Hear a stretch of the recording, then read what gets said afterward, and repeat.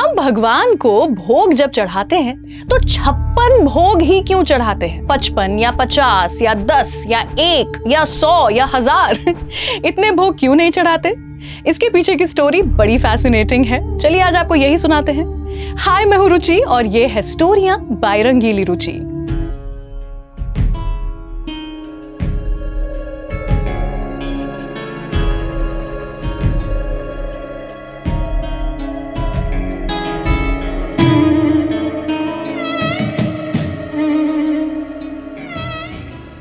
मेरी ना इस जनरेशन के साथ में प्रॉब्लम ही ये है कि क्यों हम क्यों ये सवाल नहीं उठाते जब भी कोई हमें कोई ट्रेडिशन फॉलो करने को कहता है या किसी भी बिलीफ में अपनी बिलीफ को जोड़ने को कहता है।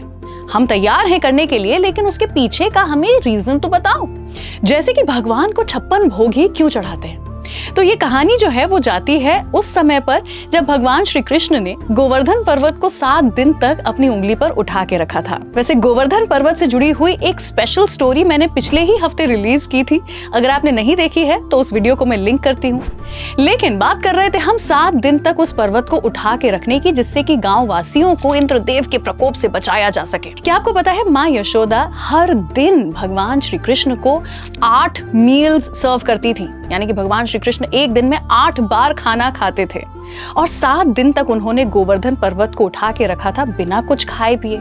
इसीलिए जब सातवें दिन के बाद में वो अपने घर वापस लौटे थे तो seven days into eight meals जो कि उनकी छूट गई थी, यानी कि 56 मील्स माँ यशोदा ने परोसी थी भगवान श्री कृष्ण को, जिसे हम आज की तारीख में छप्पन भोग के नाम से जानते हैं और इसीलिए हम भगवान को छप्पन भोग ही चढ़ाते हैं। क्या आपको ये स्टोरी पता थी? अगर हाँ तो दैट्स ग्रेट और अगर नहीं तो ऐसी ही कुछ स्टोरियाँ जो आपको पता हो, वो मेरे साथ में शेयर कीजिए, नीचे कमेंट सेक्शन में लिखिए और देखते रहिए स्टोरियाँ बाय रंगीली रुचि.